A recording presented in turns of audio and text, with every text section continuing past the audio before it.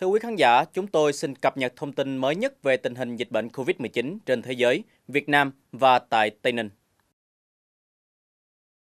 Theo trang Worldometer, hiện thế giới vượt qua con số 6,4 triệu người dương tính với virus SARS-CoV-2. Mỹ vẫn là nước đứng đầu về số ca nhiễm và số ca tử vong. Số ca nhiễm là 1 triệu 860.626 người và số ca tử vong đang tiến gần con số 107.000 người. Brazil hiện là quốc gia Mỹ Latin chịu tác động nặng nề nhất với hơn 500.000 ca mắc và hơn 30.000 ca tử vong.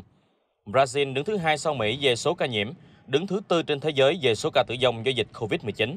Riêng trong 24 giờ qua, trong 10 quốc gia có số ca nhiễm mới cao nhất trên thế giới, có tới 4 nước ở Mỹ Latin.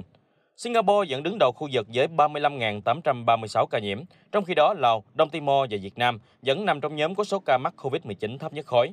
Như vậy, tình hình dịch bệnh COVID-19 tính đến 21 giờ ngày 2 tháng 6 năm 2020 cụ thể như sau.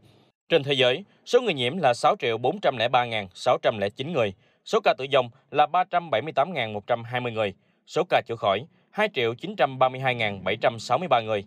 Tại Việt Nam, tròn 47 ngày, Việt Nam bảo vệ được thành quả bước đầu trong công cuộc chống dịch COVID-19 là không có ca lây nhiễm trong cộng đồng. Ca nhiễm gần đây nhất là ca xâm nhập. Hiện còn 30 bệnh nhân đang điều trị tại các cơ sở y tế.